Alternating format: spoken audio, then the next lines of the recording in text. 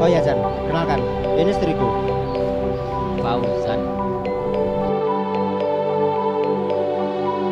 Oh iya, kemarin itu Fauzan. Dia teman satu pondokku dulu. Aku minta maaf ya, aku belum sempat cerita tentang kamu ke dia.